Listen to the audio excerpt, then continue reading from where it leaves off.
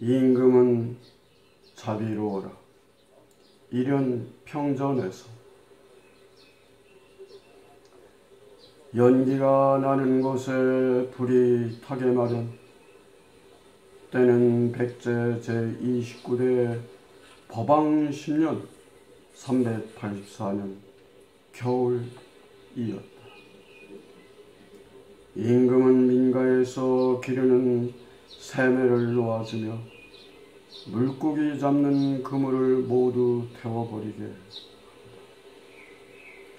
물고기의 생명도 사람의 그것과 다르지 않음을 중시하여 모든 사물에게 자비를 베풀도록 권장한다.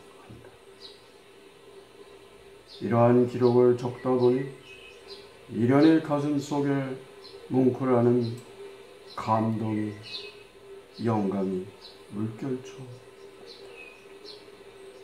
이래는 시 한 수를 노래한다.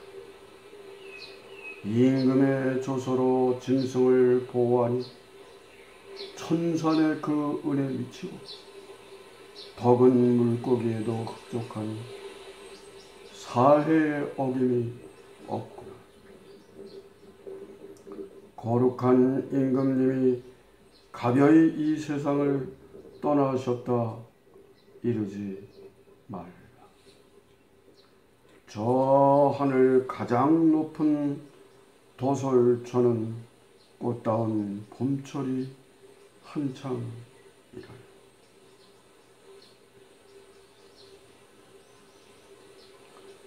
큰스님 왜 물고기 잡는 그물을 다 불살라 없앴을까요?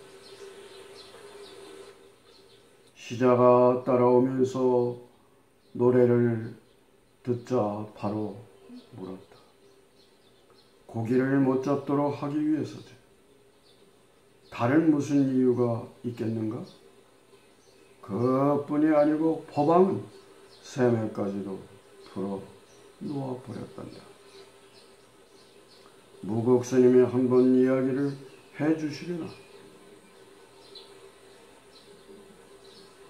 앞뒤가 잘 맞도록 묵은 모든 일을 상황에 맞게 풀어 헤쳐준다. 스승의 말대로 시자들에게 이야기를 재미있게 들려준다. 법왕이 즉위하던 원년 599년 겨울이었다.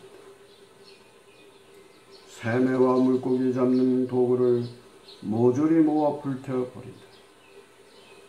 이듬해 왕흥사를 부여 당시 사비성에 지으려고 힘쓰다가 터만 닦아놓고 세상을 떴다. 법왕의 뒤를 이은 임금은 서동료에 나오는 말을 캐던 무왕이었다. 선대 임금이 하던 일을 이어 다 이루었고 익산의 미륵사를 세운다. 모두가 나라를 잘 다스렸던 백제에 뛰어난 임금들이었다. 사람은 갔을 때 그들의 업적은 기록으로 전설로 남아 세상에 평화를 가져왔습니다. 참으로 훌륭한 일이라고 생각했다. 이래는 흥얼거리며 생명의 소중함을 다시 한번 절절하게 느꼈다. 메아리 말 잔치로 아무 도움도 없는 함께 아우르려는 양심의 소리